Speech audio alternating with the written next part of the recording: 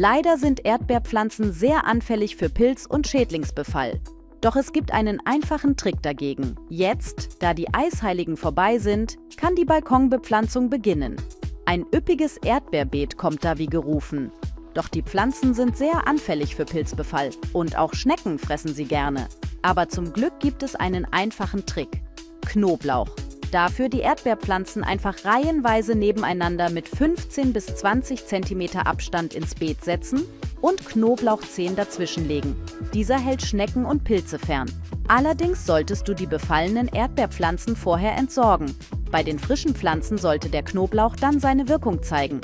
So kannst du leckere Erdbeeren im Sommer ernten.